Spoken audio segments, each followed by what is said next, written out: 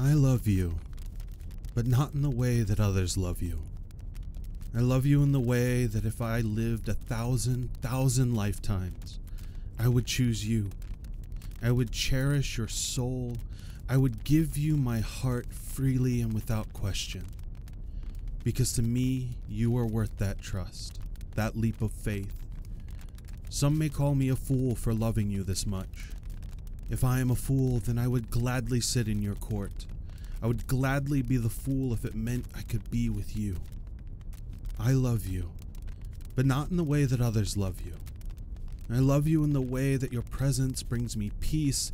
The thought of you races through my mind like clockwork. Tick tock, the time passes and hours become minutes when you enter my thoughts. So, yes, I love you, but not in the way that others love you. I love you for you.